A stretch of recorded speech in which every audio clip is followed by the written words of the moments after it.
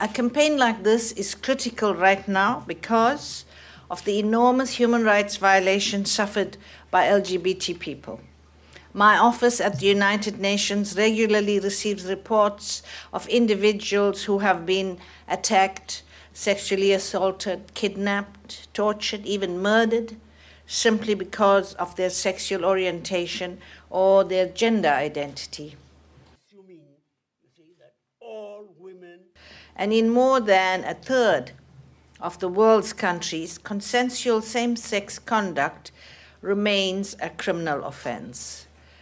Changing attitudes is never easy, but it has happened on I cannot worship a homophobic God. This campaign is timely, it is essential. May it become a source of light, may it become a source of rejoicing, may it become a source of self identification and of claiming of humanity by people who are LGBTI, but also the claiming of humanity by people who are not LGBTI. Because in denying our humanity, you deny your own.